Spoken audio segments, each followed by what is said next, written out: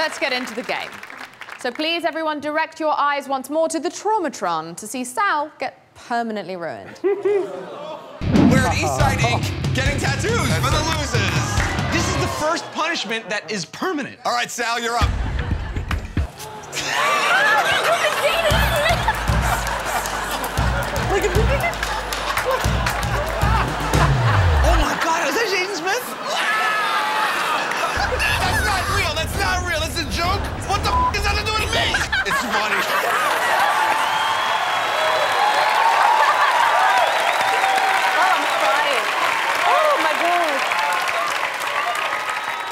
genuinely as angry as you look? You look. I've never seen you look so it's pissed. absurd. I mean, and there's nothing against Jaden at all, but he's on my thought for life.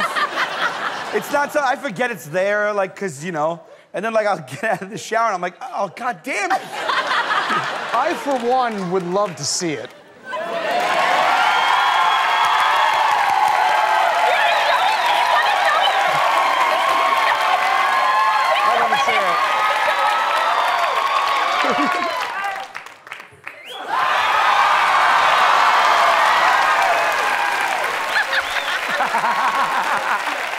Jaden Smith. Oh. Jaden Smith. Jaden Smith. Jaden Smith. Okay.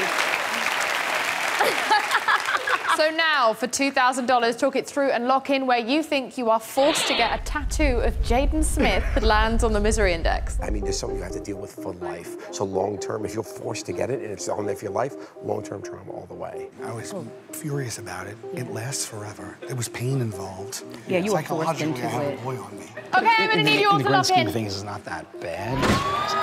Now we got a game. So everyone is locked in. Let's see who has mastered the misery by being closest to the correct answer. Caitlin, you said. 41. What'd you guys do? Oh, oh my God. Okay. Chelsea, you said it was Ate.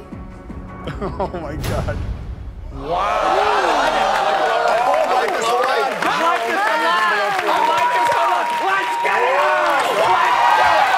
Let's see what our shrinks say. It's permanent. Very tough in relationships now. There's no way it's gonna bounce back up. It's a little boy. Come on.